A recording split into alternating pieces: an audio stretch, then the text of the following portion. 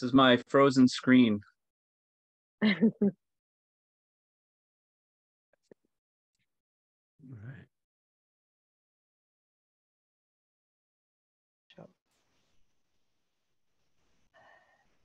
Hello, everybody. We're waiting for everybody to finish coming in. We want more people coming in now. That's just a minute or two after the scheduled start time. So we're just making sure everybody's in here when we get before we get started.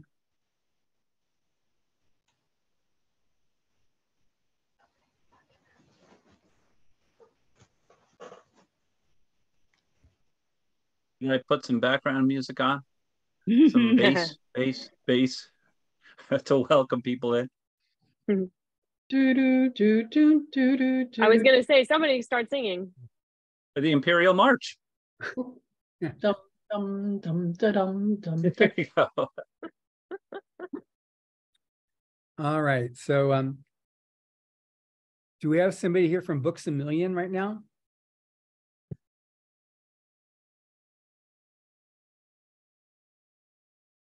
All right.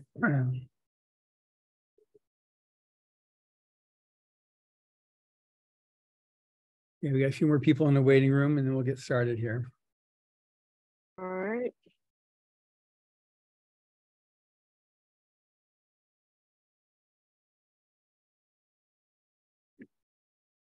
Okay, so we'll get started and we'll, the, um,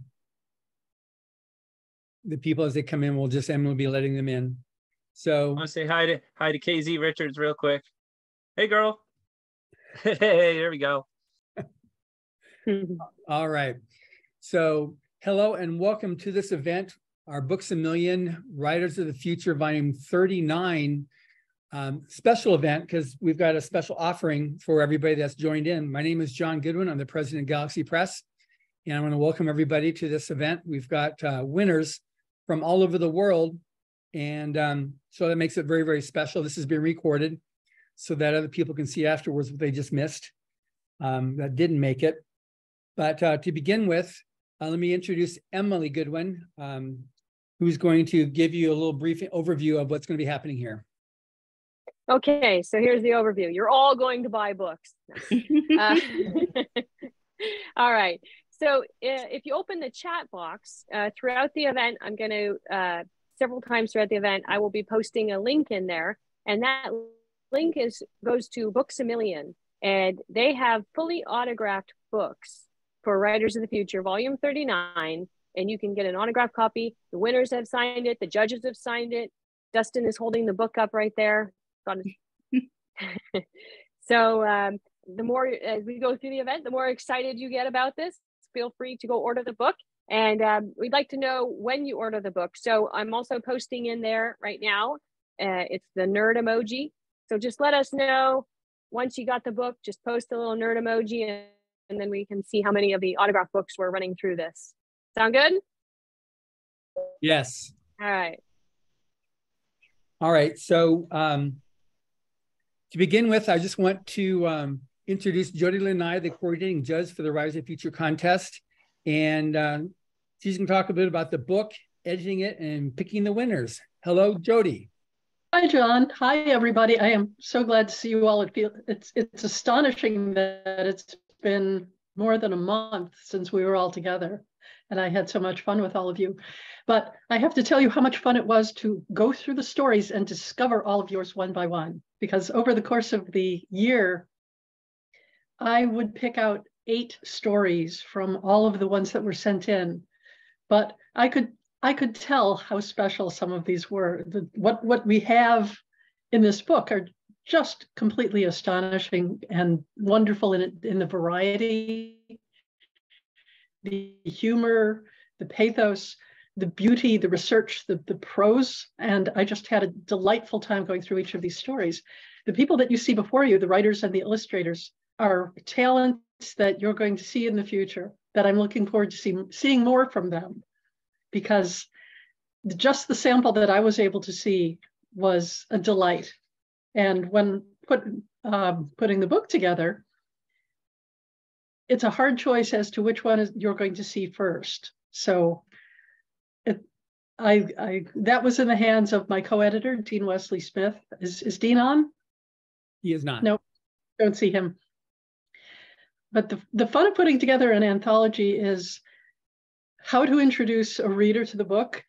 And it just, I was so excited about so many of them that I, I wanted to pick out. You know, we have a romping space opera, we have a diplomatic contact with, with uh, aliens for the first time, we have foxes appearing out of nowhere in a wonderful mystical universe. We have such fantastic stories and the illustrations that went with them, which of course I didn't see until the, the day of the uh, grand event, just fit them perfectly. So I hope that all of you will pick up a copy of this book because you will be delighted. Great, thank you. And Maliva, who is the um, managing editor for uh, The Writers of the Future, um, also has a few additional details she wants to share with you based upon the amazing reviews we've been getting. So, Maliva.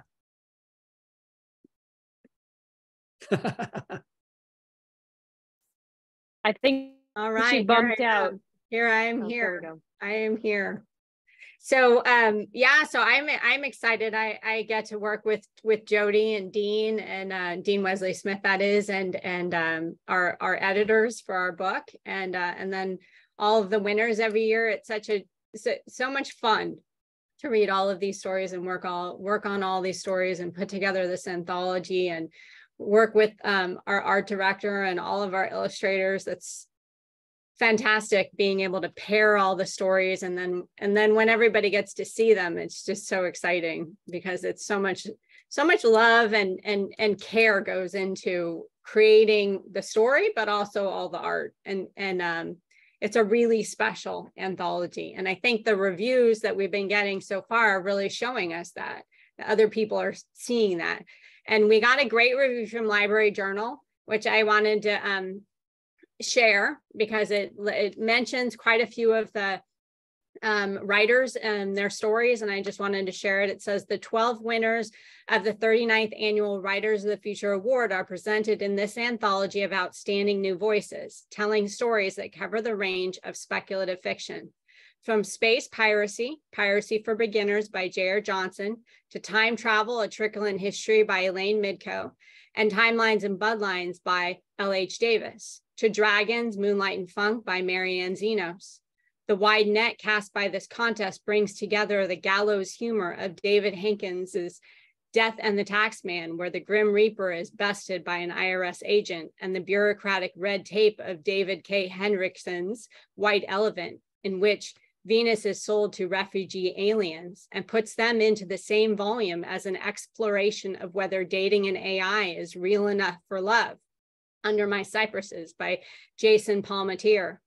There's something for every genre reader among this year's winners, as well as stories from established writers, Kevin J. Anderson and S.M. Sterling, and two how-to essays for hopeful SF writers and illustrators. Verdict, this collection of winners will satisfy readers of SF, epic, and urban fantasy and the squishy places in between where speculative fiction is mashed into brave new worlds and mixed up old ones. So hmm. that's fun. That's a great, a great review. Plus, it's it's awesome that this goes to all the librarians. So it's just really good for that. Yeah, and we've been doing some some nice promotions with librarians. So hopefully we we're we end up in a, in a lot of library libraries. Plus we have the audiobook. So we have all that additional, you know, additional ways that we can reach people. So ebook, audiobook, print book. It's a it's a lovely book. So I'm I'm excited. The cover is fantastic. A lot of people that we've been working with um, are are distributors and and um, booksellers and um, the book talker, book Instagrammers, all those people we've been in touch with are excited. So, yeah. So that's so, great. anyway, yeah. So that's what I had to contribute. Great. Well, thank you very much. Yeah. So with that, we're going to go in right now and play the book trailer to get to set the the tempo for the rest of what we're doing. suppose we introduce all the winners that are here, and then uh, have some uh, reading of three of the different stories, parts of three different stories. So, Jason.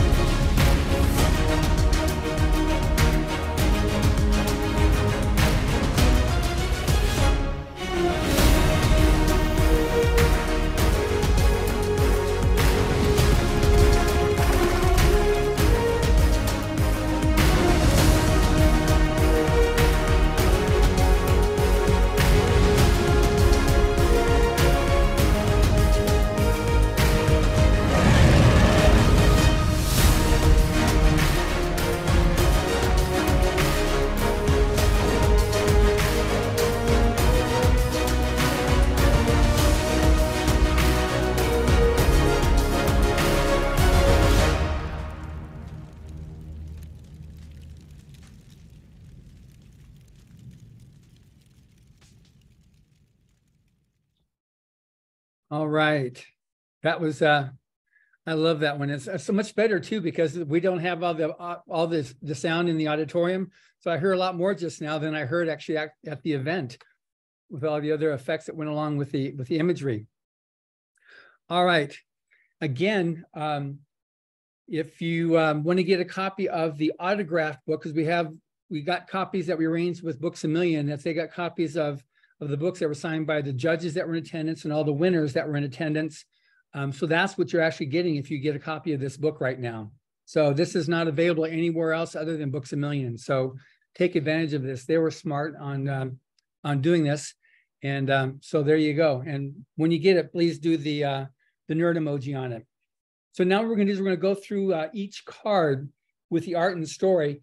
Now the idea is that as we do it, any of the writer or illustrator for that story, we want you to speak up and say a few words. The writer can give your um, short little pitch that we that we drilled at, at the workshop, and then the illustrator as well about same thing for yourselves. Because I know that um, uh, we got a lot of winners here that I want you everybody to be able to meet. And again, this is all being recorded too, so we'll be able to continue with this so people can see you. So, Jason, let's start with uh, with the first one here. So, Devin, you want to say something? Of course, yes. Um, so my story, Kitsune, which is named after the Japanese myth of foxes you can turn into women and back again, tells the story of Reina, a woman who is lost in a perfectly adequate life.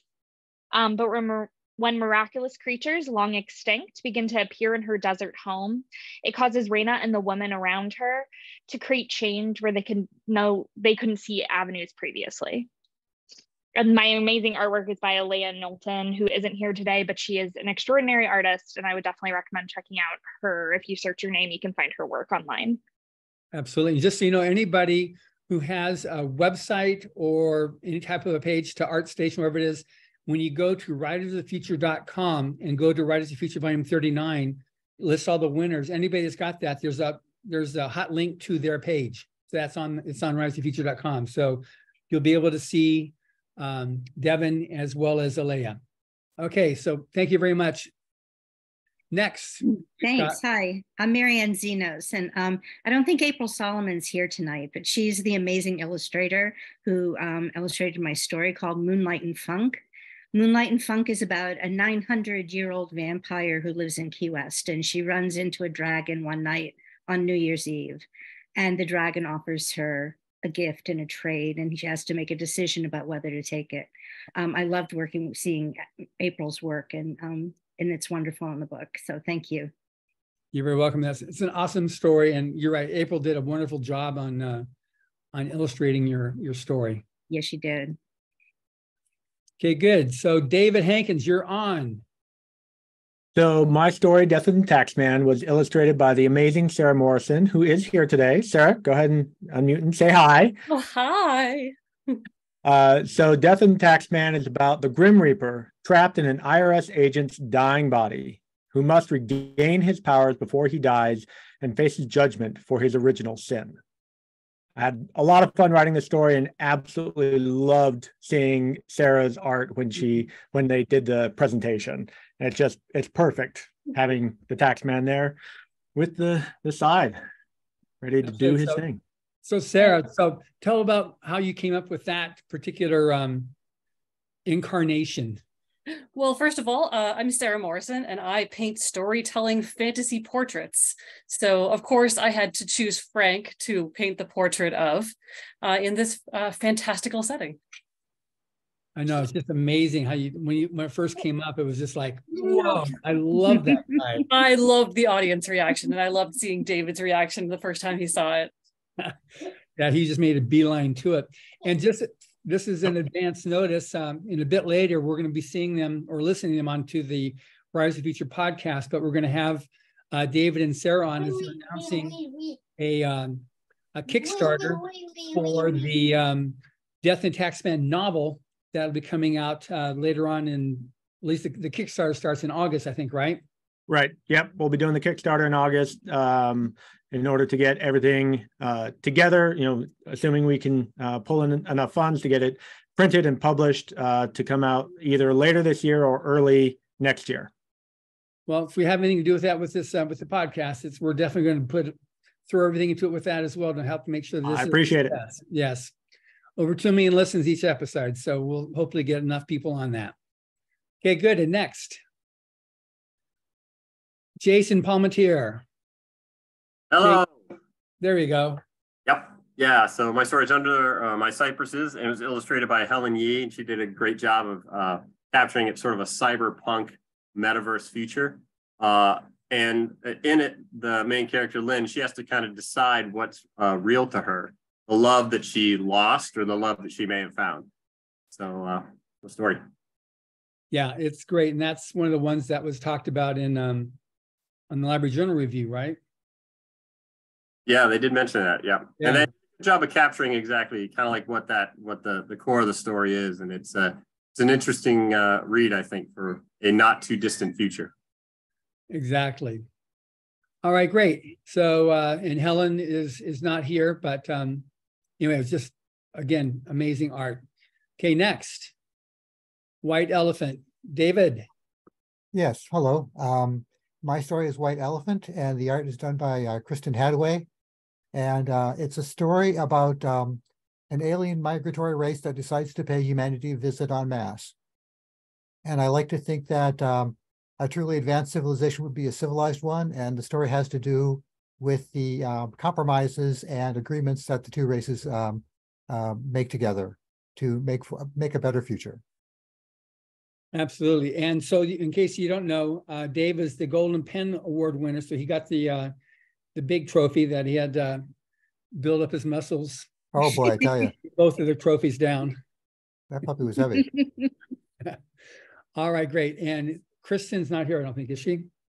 I don't think so. Okay, okay, good. All right, next. Piracy for Beginners, uh, Jennifer, J.R. Johnson. Hello. Yes, my story was Piracy for Beginners. It was illustrated, as you can see, by Chris Binns, who did an amazing job capturing one of the most dynamic fight scenes in the story, and I just loved it. So I don't think he's here today, but he's a fantastic illustrator. He did a great job. Um, the story itself was uh, it came about because I wanted to write something fun. But at the same time, I wanted to write, uh, I wanted a character that would have to face difficult decisions and have to stand up for what's right. And so in the end, I brought the two of those things together and was able to create a story about a disgraced spaceship captain uh, who was battling pirates to save Earth's last best chance for peace. And there are things like weaponized donuts involved. So there's fun, there's serious stuff, there's lots of action, and I had a great time writing it. And I was I was very uh, honored to be chosen for this. But I I hope you like this story because I had a great time doing it. Absolutely. And you just and Jennifer just did an amazing job two days ago on um, on uh, TV up there in Canada. It was a, I think it was like a six minute or nine minute interview. It was just it was amazing um, what she did talking about it. So hopefully we get a lot of people entering the contest, a lot more people in Canada as well as people buying the book. So well done to you on that. That was a great interview. Thank you. All right, next, a trickle in history, Elaine Midcoh. Yes, hi. Um, this was illustrated by Jose Sanchez, one of our two illustrators from Costa Rica. I think our other illustrator is here, but Jose is not. He also goes by the name Pero Trop, and he's wonderful. So you should definitely look him up and look up his artwork. Um, a trickle in history uh, takes place in the future after the second Holocaust, when the very last few Jews on earth uh, embark on uh, a rather desperate mission to try to rewrite the past. So it's it's a little bit a, a, time travel story, but it's also a story about resilience in, in a time of difficulty and, and the struggle to maintain one's identity uh, when sometimes folks don't want you to. So I hope that you enjoy it. Uh, and I certainly uh, enjoyed uh, writing it and enjoyed my week at the WOTF uh, workshop. Absolutely. Great. It was, it was, an awesome story. And I love the way too how you um, solved it. That that problem. It was, it was a, that was like the best solution what you came up with. So that was really good. Thank you. All right. So next now, The Withering Sky with uh, Arthur Manners. Is Arthur here? I don't think he made it.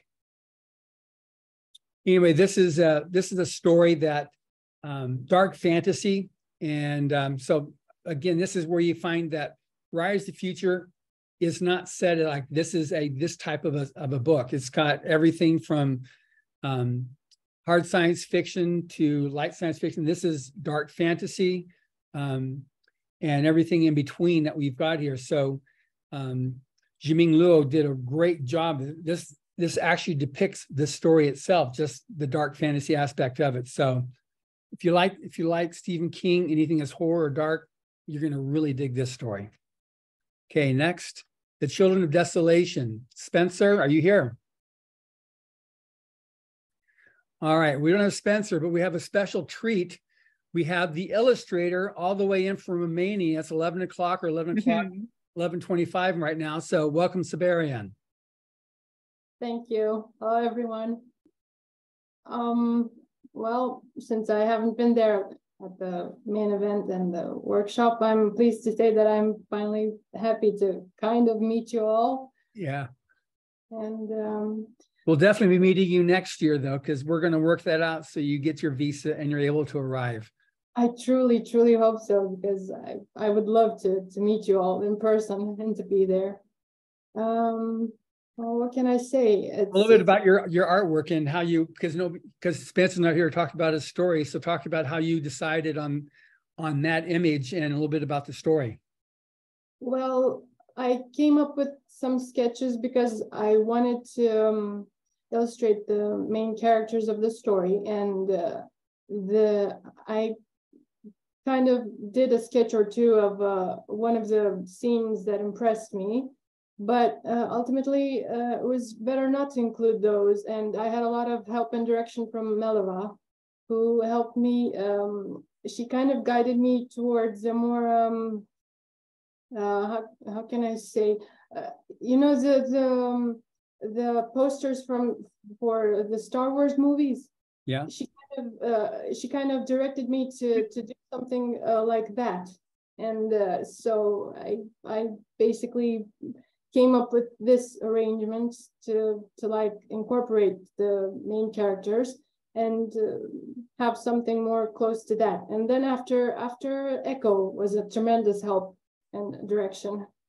She was uh, she, the two of them are the reason why, and of course Spencer because well, it's his story.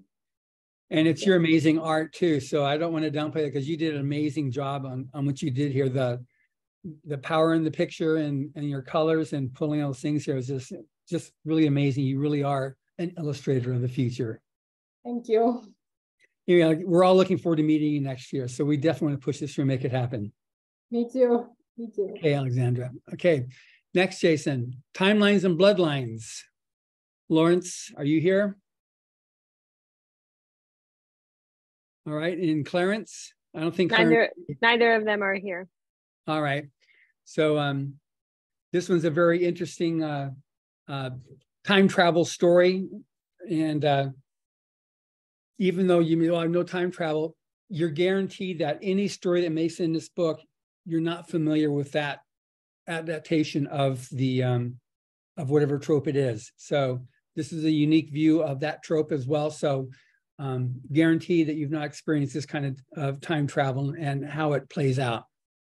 Okay, next. The last history. Sam Parr and Dao V. I don't think either of them are here. No. Okay, good.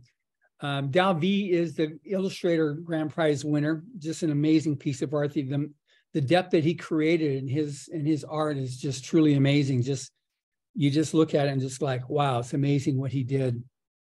And you're right uh, Marianne, the, the, story is is truly um, again unique. It's not something you're going to have have ever seen before or read before. it's just amazing what uh, he did on this thing on the last history. Okay, um, the fall of Credenda M. So TJ Knight, so you're on. here. All right. So for this story, we have in the future, our telescopes have become so powerful, we can see life on other planets, but everything we see is in the past because of the speed of light until it isn't. So this guy right here, he aims a telescope through a wormhole and everything he sees and everything we see is live. Only one problem. When he finds this planet full of full of people, as you can see in the little image there, he also sees the asteroid that's headed straight for them. So as you can see from the picture, he decides to take a daring risk and and go up there and see them because he made a mistake in his past where he didn't go and see someone and they passed away. So in order to right his wrong, he goes all the way up there to visit them. So this story is about a little bit about redemption, but it's also about uh, friendship and and just showing up when it's time to show up. Absolutely, just a, a really really good story. And we got Chris here from uh, Costa Rica. He's our Costa Rican rock star. It's interesting when um, I was a little bit of a pre-story on this thing here when um, there's a comic convention in Costa Rica, and our keynote speaker, Dan Farr, put in a call um, to the owner of the Costa Rican Comic Con and mentioned we have Chris Arias. And so Chris was invited, and he was one of the um, uh, key guests there at the comic convention. And since then, he's done either two or three major television shows. He's done a couple radio, he's had print. And all of this is them writing to him, calling him to schedule. He's got a big feature still coming out on, on the biggest TV in Costa Rica.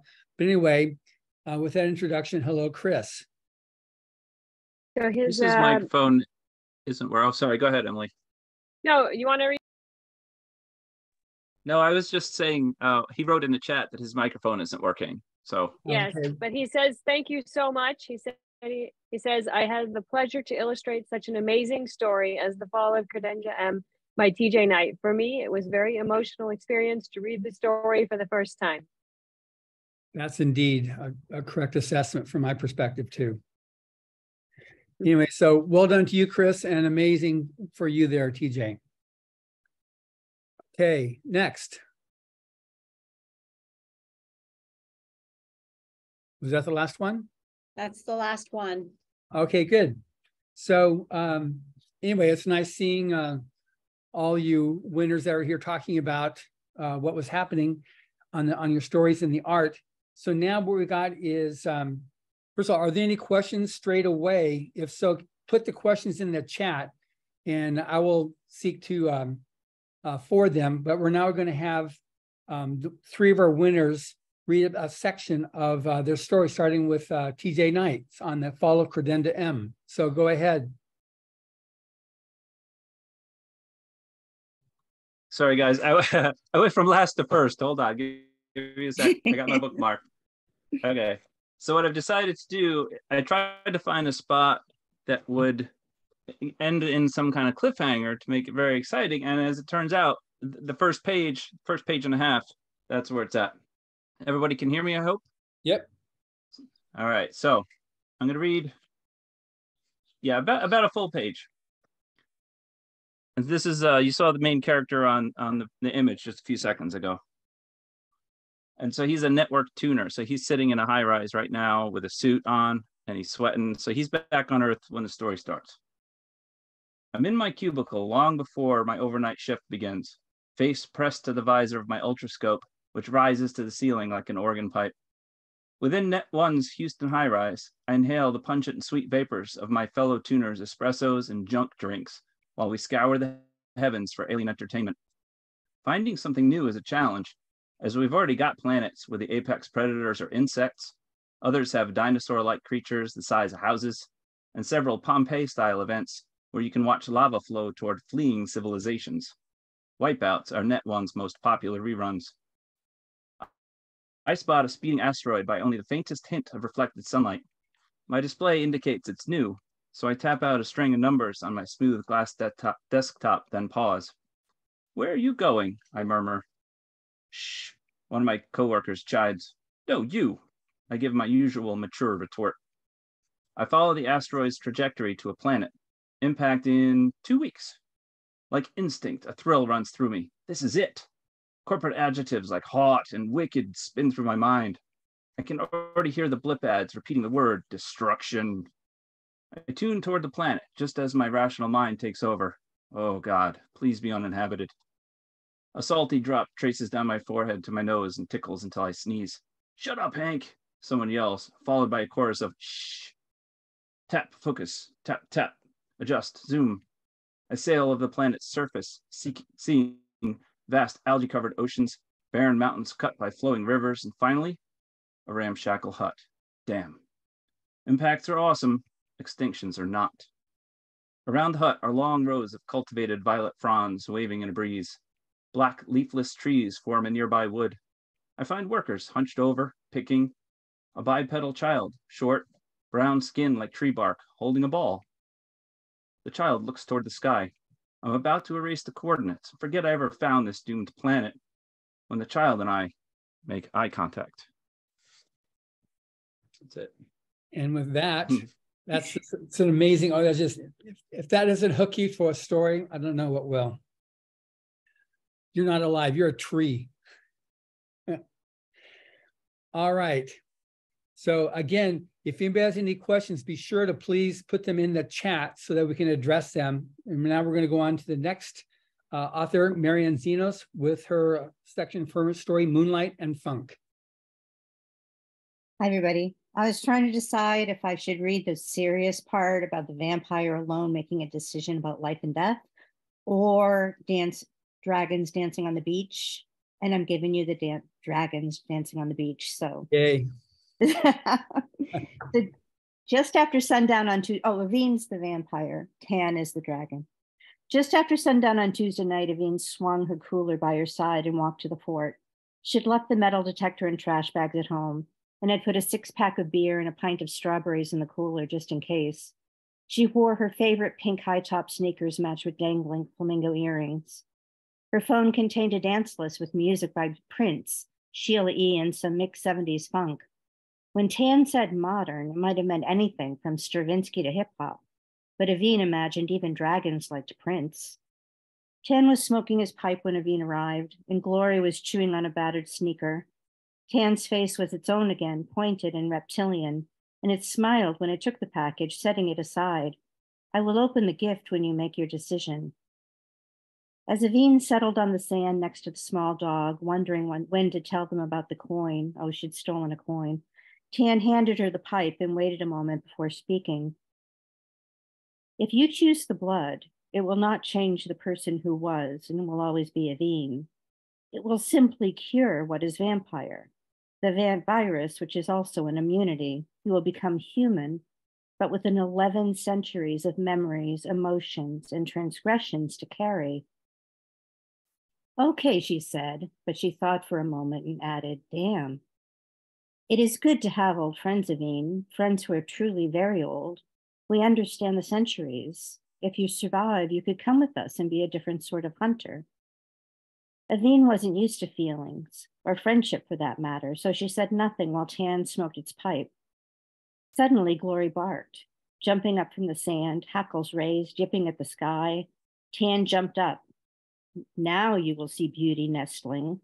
Now you will see true glory, my beloved Glorious.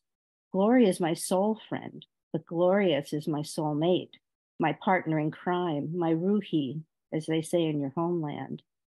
The dog lifted its head and howled at the moon.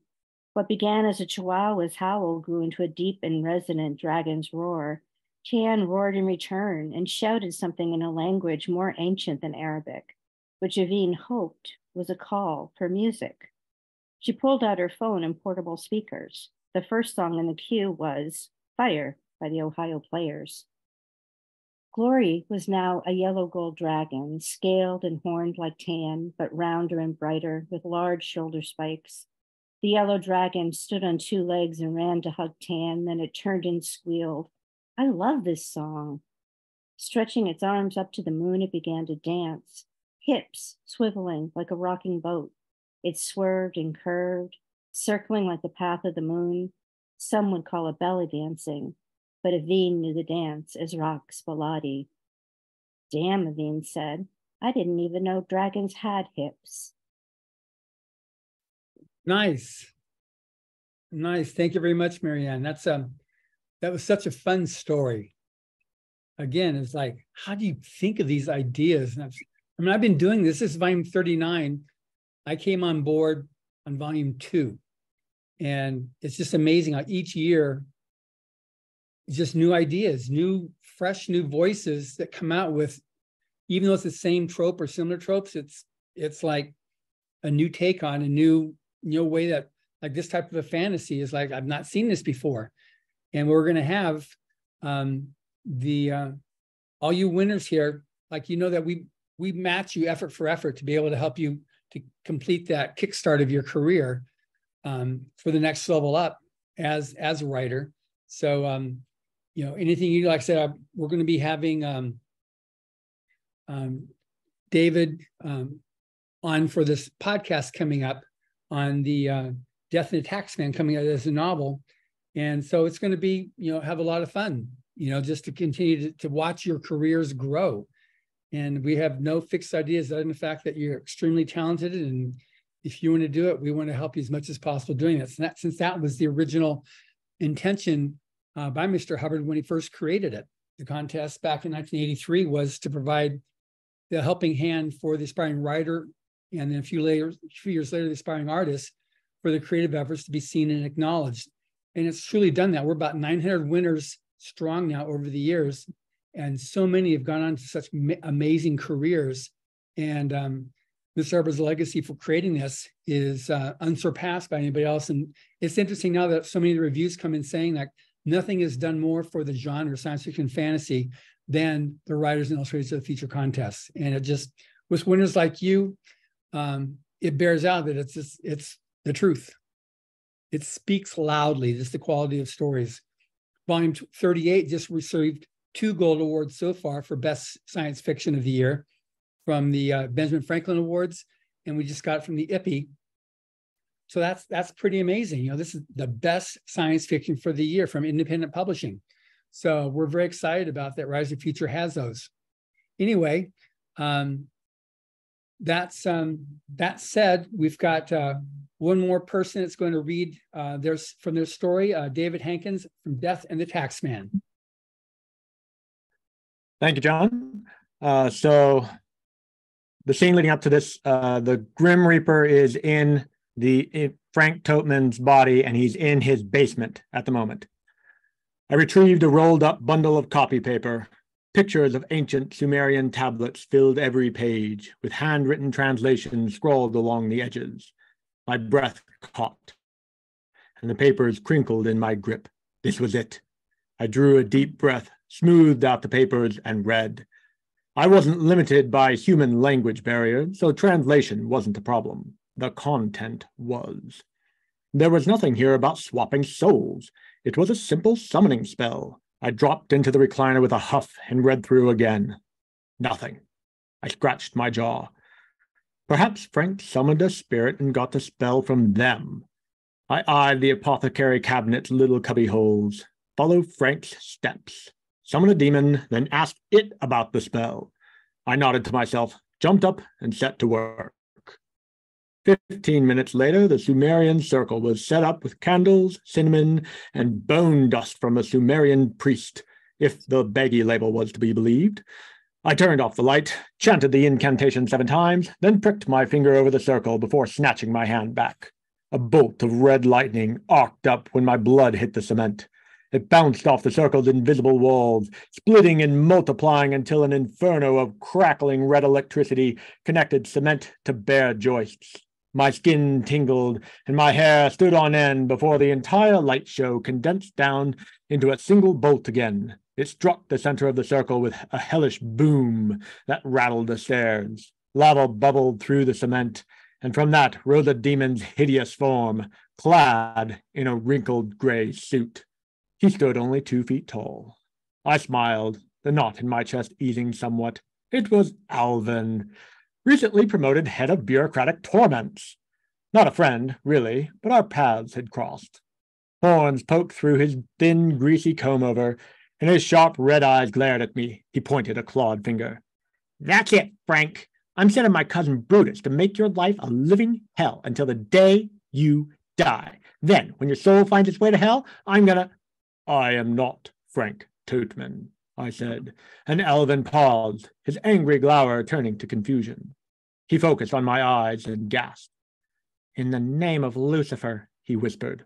He did it. Elvin's brows scrunched. Oh, Grim, how you doing? Heat surged through my chest, and my breath came short and fast. You, you knew? I stepped forward, fist clenched, breaking the circle with a flash of red electricity. You knew Frank Tootman's plan and didn't think to warn me?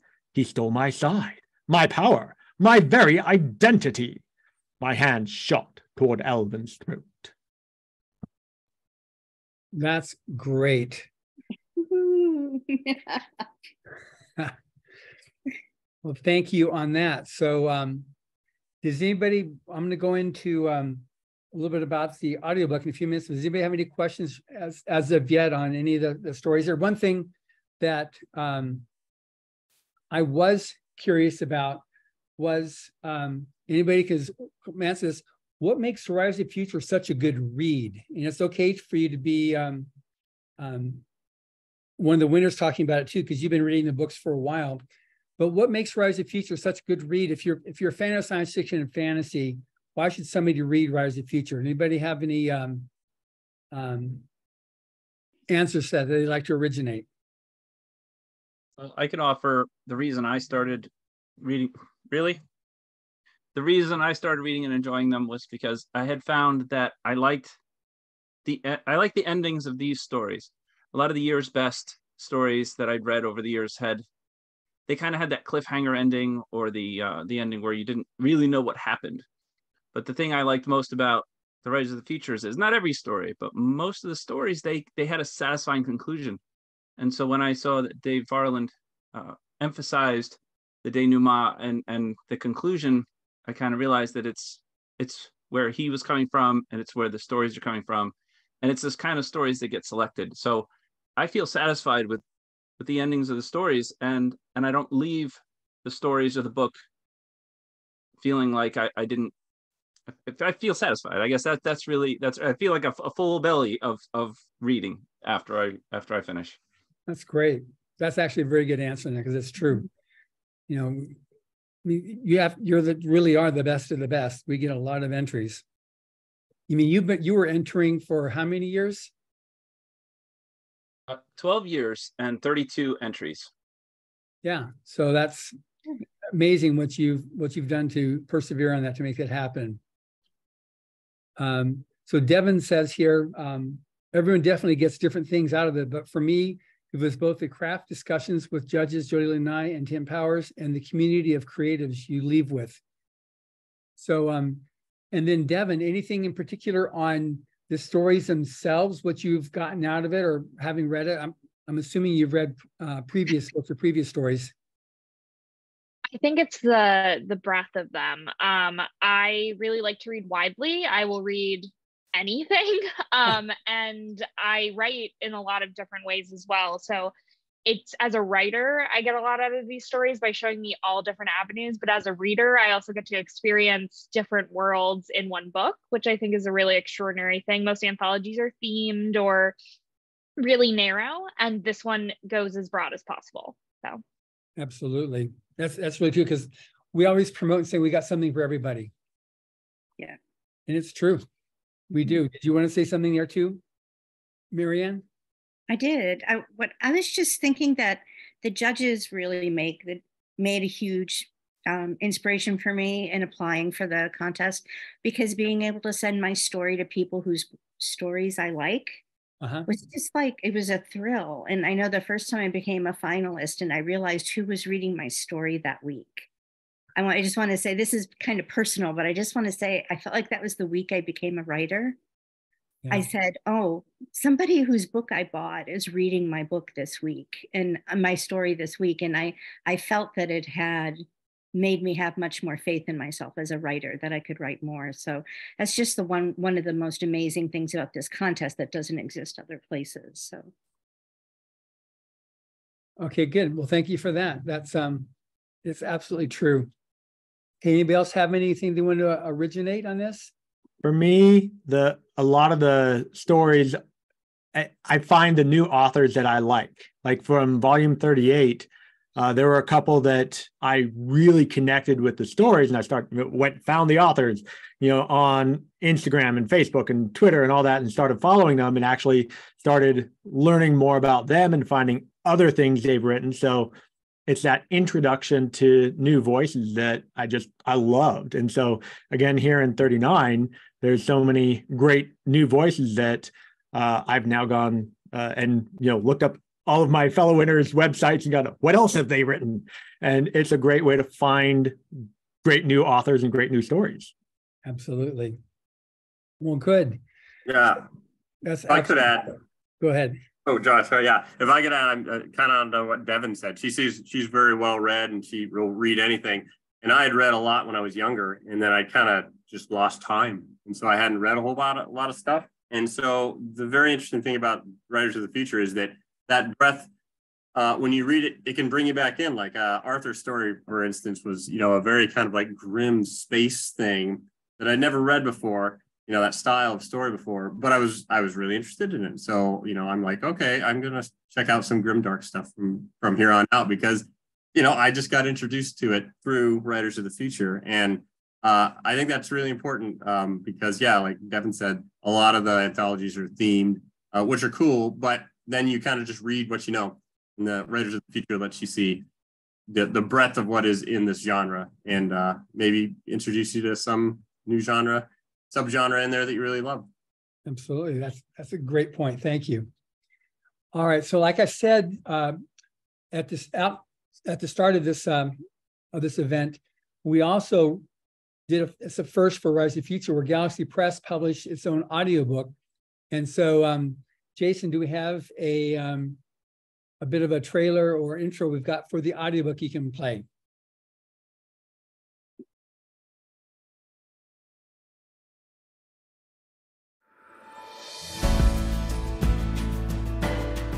Well, hello there. I'm Jim Meskimen. I am one of the three narrators of this anthology, the new L. Ron Hubbard Presents Writers and Illustrators of the Future, Volume 39.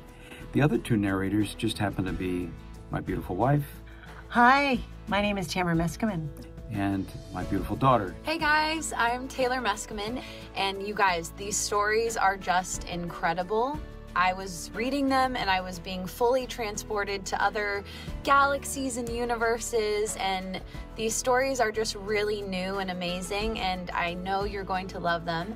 What I love about narrating this particular book, the stories that I read, is that they're all completely different. So they all require kind of a different approach, uh, different kinds of characters, different, really different kinds of narrating. And uh, so that's fun for me. I, I love to change up my voice and, and to do a lot of you know, a lot of different kind of bells and whistles and uh, fireworks with my voice. This book is filled with amazing stories that are going to take you to many galaxies and beyond. Also filled with beautiful illustrations. You're just going to love this. I'm also thrilled that this is a project that every year uh, collects the greatest stories out there from writers that have not yet made their mark, but who will one day be stellar, stellar names in the future not too far in the future either. If you're a sci fi fan, fantasy fan, you've got to pick this up because these are the writers of the future, guaranteed. You should definitely check it out. Enjoy.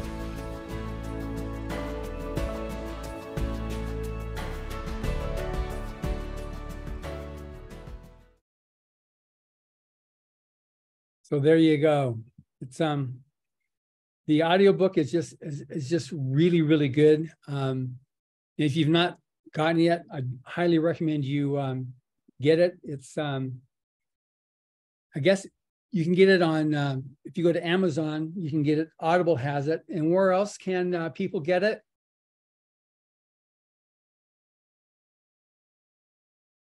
Emily, I believe everywhere audiobooks are sold. We have very yeah. wide distribution.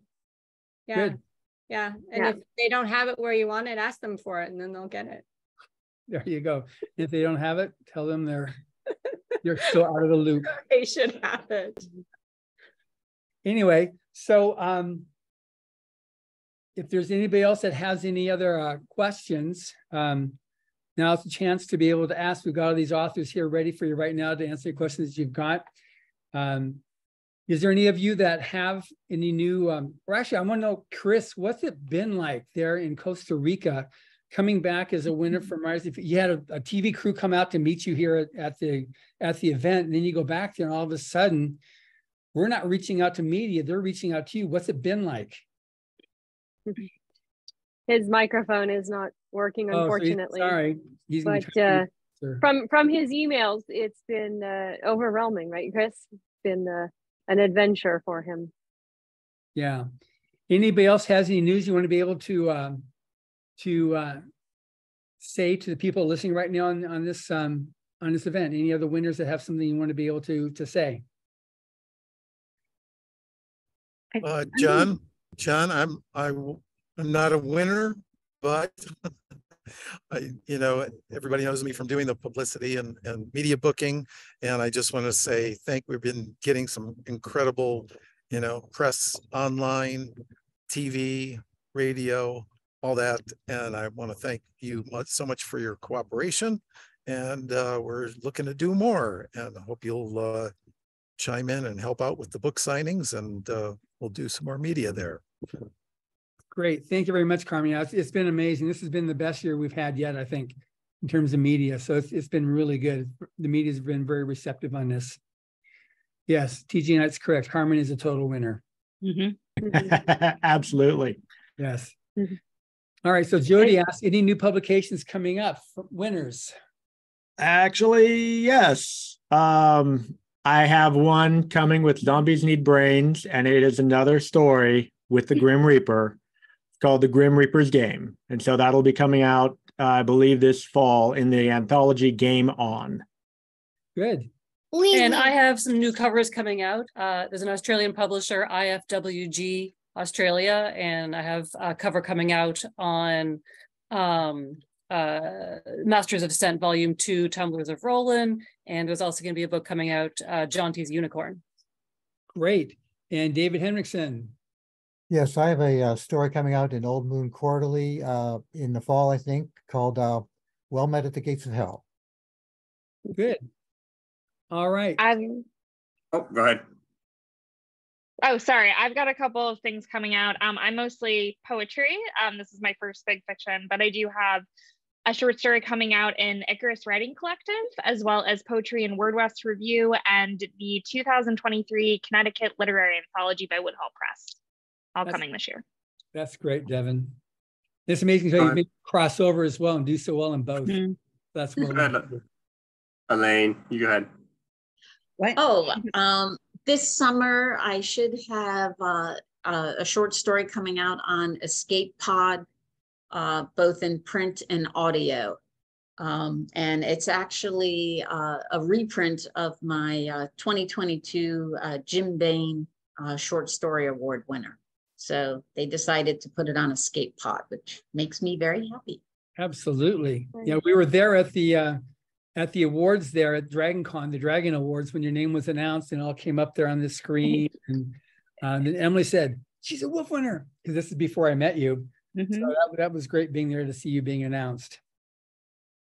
All right. Someone else was going to say something. I was, um, I have a little avalanche of stuff coming out and, um, I have something in an anthology that's called Underdogs Rise. And then another anthology called Written with Pride. And this new one is coming out called Other and Different, which is a great name. And then Tight House is publishing one of my short stories. And then I just sold another one. After I got the award, like I got this, like all of a sudden it was like, poo-poo, and they, uh, um, I don't know, I sold a bunch of stories all at once. So um, Congratulations. That's well done. We'll accept your article to the to the Rising Future blog whenever you feel like sending it. that'll be fun. It, that'll be fun. Absolutely. Anybody All else? right. Think? Yeah, I do have uh, one short story coming out in the uh, anthology uh, anthology Solar Flare from Zombies Need Brains, and it'll come out the same time as the one that David's in. Um, it should all be out about the same. I think it's in, usually July or something like that. They come out. So This is great. We got a lot of you guys are you're like you're pumping it out now. This is great. All this stuff. Any of the illustrators with any other projects that you're doing? I know that Sarah, you're doing you're doing more illustrations for the um, uh, Death and Taxman. Well, hopefully. well, you're part oh. of the uh, Kickstarter, so. Mm-hmm. So it's part are, of our stretch goals. Yep, we we've got the uh, cover art um, already. We're you know she's working on the cover design, and um, with stretch goals, we'll have interior art as well. That's great. And as we're going over these last little bits here, make sure you get your copy of either the book uh, from BAM there, so it's a signed book, or you can go to uh, uh, Amazon or wherever you get your audiobooks and get the audiobook because it's just, it is so cool. All three of uh, Jim, Tamara, and, and Taylor recorded, combined, there are like over 500 audiobooks they've produced uh, that they've recorded. Uh, Jim is known as the man of a thousand voices. He does all the stuff. He's the one at, at the event um, did um, he announced he announced the award in the voice of Picard. It was pretty funny. Yes, yeah, absolutely. okay, good. Um, anybody else then? Yes. Yeah, I, I got a question. Uh, my mom sent me a text. Uh, my mom from my speech. she sent me a text. She's an artist and she's actually professional artist, so she couldn't apply if she wanted to. And she wanted to ask perhaps Sarah what medium that you draw in. I paint with oil paints primarily. Okay. All right. Let me see if I got the question completely correct. Because her mic isn't working either. Oh. Yeah, when they paint or draw their illustrations. So you start in oil and stay in oil. I start with pencil, I guess. So I start mostly with pencil or sometimes digital. Um, but my final is in oil. All right, awesome. Thanks. And the little one next to her finishes it off. I, am working on an oil painting of this one, but this was all in a biological material. all right. Anybody else anything else before we wrap up here? This has been uh, this has been a real fun event, and uh, it's been great seeing you all again too, because it was so much fun at, uh, at that whirlwind week called Writers of the Future um, a month ago, and uh, we're still cranking. We've we still periodically hit the bestseller lists uh, with Amazon, and we're continuing to grow up with these events now. This will keep the uh, sales going and making it, it happen. Um, so thank you all for attending, and um, please be sure to you know share this with your friends to share the news of this book because um, it's people's friends. It's you know they'll listen to you. You say, "Look at get this book. This is really good." Then they will do that. We've we've put so so much different media on social whether it's Facebook, Twitter, Instagram, YouTube. Um, we have all types of stuff to be able to help you with. We got much more stuff coming out. We recorded enough uh, footage from probably about 200 different social posts, videos that we'll be creating and still rolling out with. There's a lot of media still coming down the pipe. Then anybody that wants to from this year, you're all automatically invited as pros to either Dragon Con or Salt Lake City FanX. You just need to reach out to Emily and let her know. And then we'll get you on the list there to get you badges to come in either Dragon Con or to Salt Lake City FanX. So um, anyway, um, thank you very much. Very much appreciate everybody's attending and um, have a great rest of the weekend and enjoy Writers of the Future. Thanks, Bye. John. Thanks, everyone. Thanks, everybody. Thanks for doing this. Yeah, thank you so much. This was great. Thank you. Great to see you yeah. all. Bye, everybody. Bye-bye. Bye. I'll be in touch. Bye. Good, Good to see you guys. Reunion. Yeah, reunion number one. That's right.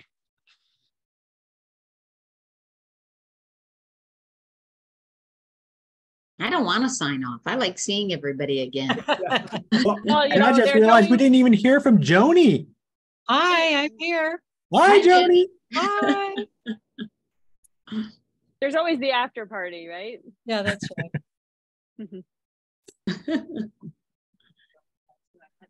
okay. And FanX Canada, if you guys are there. Good. All right. So now I'm going to sign off here. Okay. Bye bye. Thank you. Thank you, Jordan. Thank you. Bye. Bye bye.